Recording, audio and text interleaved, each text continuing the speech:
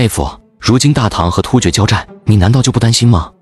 有什么好担心的？难道你认为大唐会输？我当然希望大唐能够战胜突厥，踏平突厥是所有男儿的心愿。陛下既然会对突厥用兵，必然是有战胜突厥的把握。这不就对了？那还有什么好担心的？有了战马三件套和蒙古弯刀的大唐军队，在天时地利的配合下，踏平突厥不就是手到擒来的事情？用不了几日，捷报就会传回长安，你们等着看吧。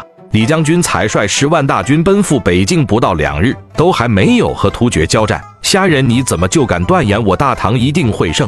就是就是，难不成妹夫你知道些什么？你们几个鸡毛啊！耐心等待几天，不就知道了？陛下，北境传来捷报。哈哈，快说，北境战事如何？陛下，李将军得到军情，知道协力领兵攻打突利，并不在突厥都城定襄，当即先率领三千骑兵急速行军，以迅雷不及掩耳之势攻取定襄。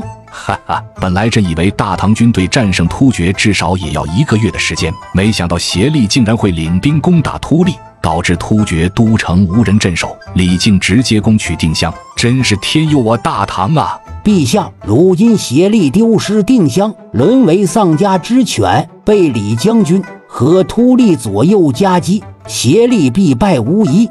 嗯。不过协力此人生性多疑，又是在草原上，说不准协力还有什么手段。不过李靖能够攻取定襄，至少先立于不败之地，朕也安心了不少。继续让人时刻传回北境战事消息。是，托陛下洪福，臣幸不辱命，用时半月踏平突厥，生擒协力。哈哈，做得好，李爱卿，朕一会重重有赏。哟，这不是协力可汗吗？怎么被你绑成这样了？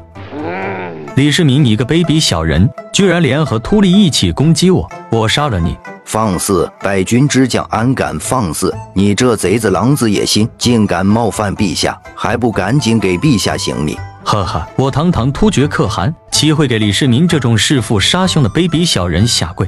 大胆！见我大唐皇帝不跪，还敢口出狂言，罪该万死！协力，睁开你的狗眼，看清楚，这里是大唐长安太极宫，而你只是一个阶下囚。李将军不必说了，他作为突厥可汗，有此等骨气，让朕甚是佩服。协力，你可服？我协力还从没服过谁。李世民就凭你也想让我服？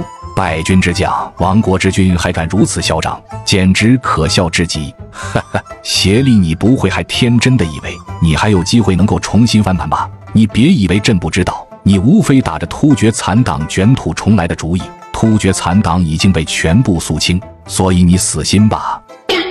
什么？不可能！虽然我突厥精锐已经被大唐军队灭了，但是分布在各地的突厥铁骑也不是那么容易对付的，怎么可能说灭了就灭了？不可能！李世民，你休要诓我！我虽然被你擒了，但突厥部落不可能听命于你们。大唐军队想要征服这些突厥部落，根本就是不可能的事情。愚昧无知，李将军将战报说与这丧家之犬听听。臣遵旨。八日前，大唐军队剿灭突厥阔窝台部落。五日前，大唐军队剿灭大小六七个部落。突厥境内，除了突利已经成为我大唐臣子外，其他的部落早已经消灭的所剩无几。剩余的一些小部落根本掀不起多大的浪花。协力，虽然你已经被本将军所擒，但是对于其他部落来说，只不过是换了个可汗而已。所以他们纷纷拿起武器跟我唐军反抗。没想到。最后还是被本将军给灭了。呵呵，当我是三岁孩童，会相信你们的话。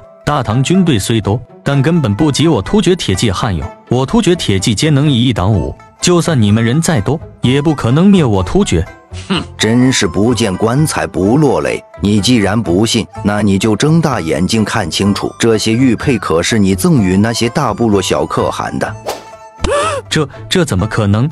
来人！将协力可汗压下去，择日处斩。李世民，告诉我究竟是谁让你能够灭我突厥？告诉我，否则我死不瞑目。吐蕃使臣陆东赞见过大唐皇帝陛下。唐皇，我王松赞干布为了表示对大唐的恭贺，特意从吐蕃运来二十万头牛羊作为贺礼，还望唐王笑纳。啊？什么？二十万头牛羊？松赞干布这么抠门的人，竟然这么大手笔。不过松赞干布也没有选择的余地。在各国之中，突厥、高句丽、吐蕃同大唐的关系几乎是最糟糕的。吐蕃虽然这些年同大唐交好，但也只是明面上的交好罢了，私底下的矛盾还是不少。只不过吐蕃不像突厥吃相那么难看，朕也是睁一只眼闭一只眼。现如今突厥都被大唐几乎无伤灭国了，要是大唐一旦追究起他们，他们怕是会落得和突厥一个下场。虽然二十万牛羊的确是大出血，但比起被大唐灭国，根本算不上什么。东西朕收下了，替我多谢松赞干布。多谢大唐皇帝陛下，臣回去一定转告我吐蕃大王。另外，我们大王还希望唐王早日选出和亲人选，以加强大唐和吐蕃的联合。嗯，朕会慎重考虑的，一定给松赞干布一个满意的人选。